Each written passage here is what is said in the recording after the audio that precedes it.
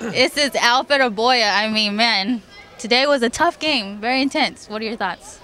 Uh, I just think that uh, uh, we didn't show up ready to play today. Um, I don't think we were uh, mentally ready. Uh, we got a couple lags on the defensive end. Uh, they shot 70% from the from the field the first half.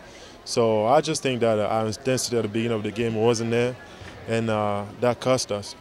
And it's crazy because every single player has said the exact same thing that the intensity was just down from everyone.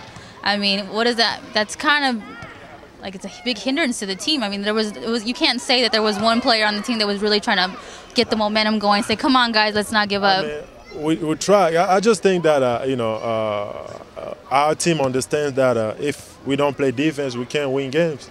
And uh, if our defense is not there for us, it's tough for us to win games. And uh, you know, today's game is just you know, what uh, uh, our season been so far. Every games that we didn't show up on the defensive end, we lost all those games. Well, on another note, you are feeling better, right? Yeah, so yeah, I'm feeling better. Okay, so and then going into the next couple of games, is there more pressure, or how are you going to take the next couple of games? Uh, we have to approach every game like uh, you know, like it's uh, our last game. Because uh, you know, UCLA, we've been in the top of the Pac-10 for the last three years.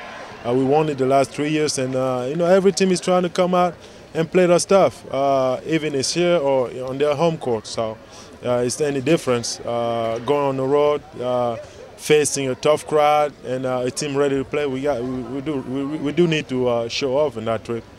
I hear you. Now, I mean, after this tough loss, does your does your plans change for the rest of the day? I mean, what are you gonna do? Yeah, it really changed because uh, my plan after the game was to go eat and uh, you know spend time with my friends. Uh, but now uh, I'm not good, you know, to spend time with them because I'll be all depressing.